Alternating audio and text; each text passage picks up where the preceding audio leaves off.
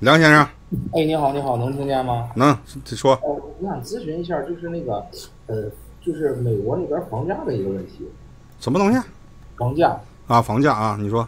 因为吧，我我我在那个一八年、一九年的时候，我我去玩的时候，那那个时候很便宜，但现在涨了吧？你去的哪个州啊？我我我在尔湾。尔湾很便宜，哥们儿，你现实搁国内九位数身家呀？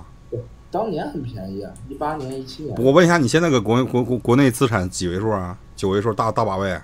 呃，对，大八吧，九差不多。啊好，哈哈小目标，OK，好，那你就说，那确实便宜啊？怎么的了？看着我看着这个情况，就我觉得吧，是不是还有必要？是不是可以换一换？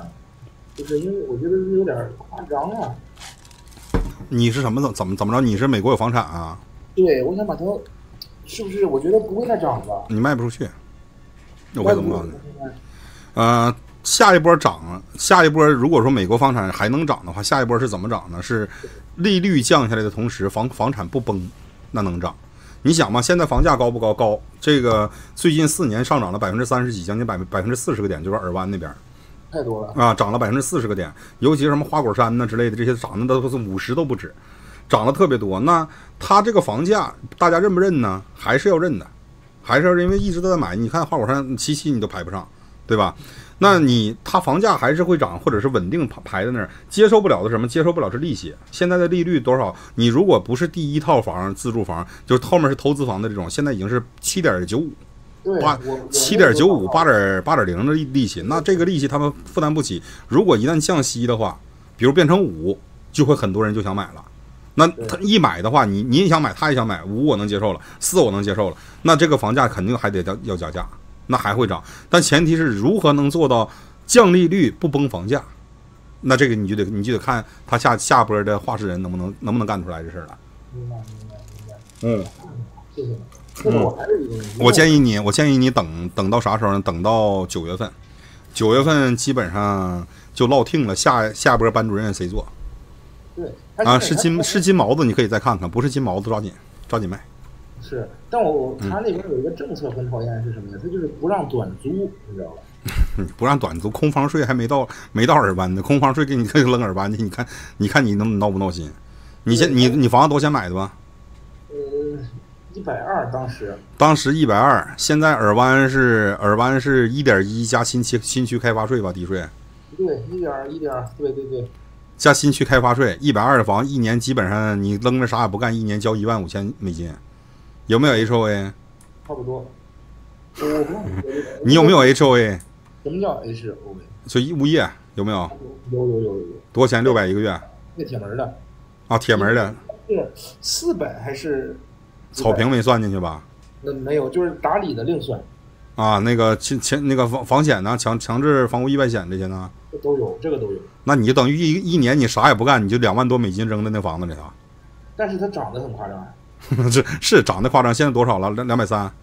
嗯，对，两百一是大几吧？要是想卖，想卖两百一是大几？完了每以每年两万多的速度，你可以先你可以先试试挂牌卖一下试试。行行行，你先挂牌卖一下试试试，如果有的话，我我觉得卖也不亏。现在你现在这个节骨眼卖，你说你说少涨，它不可能再往上一下崩到崩到又三四百分之三十，那是不可能的了。他的工资是排不上的。你想，你你一百二十万买的时候，加州最低时薪是十一块五，现在是十六。你房子涨涨，你房子涨涨了这个。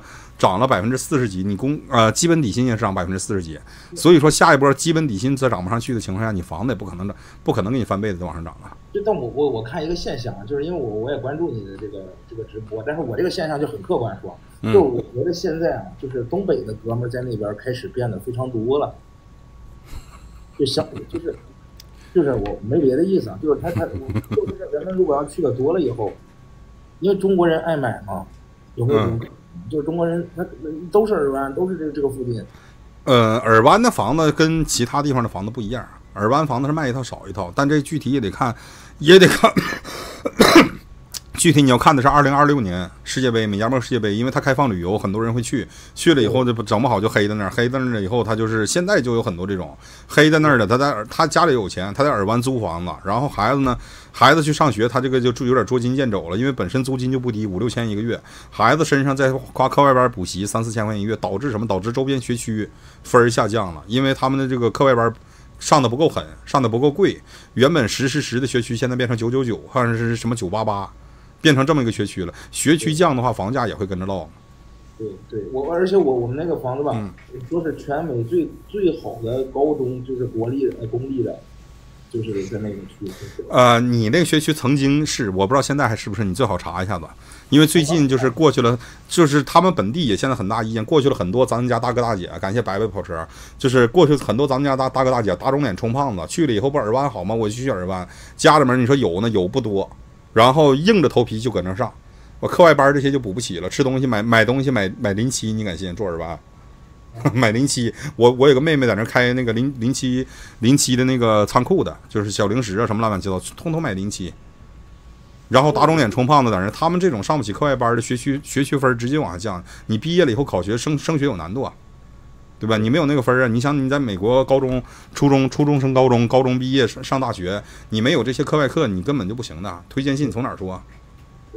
对吧？那你你这个学区分一旦降下来，咱别别多说，降到八八八，你这房子就就到头了，再上不去了。是，要是掉下九点多都不行，我感觉。降到八，降到八分，八分，八分。小学、中学、高中降都都降到八分，八分其实不算很差。但是耳湾如果降这数，你的房子价格就到头了，这辈子再再往上就难了。行行，谢谢你，一会儿我给你刷刷那个咨询费。行，好，没问题，好说啊，好。来，再下一位来，嗯，全挣点，挣点。还挣点儿，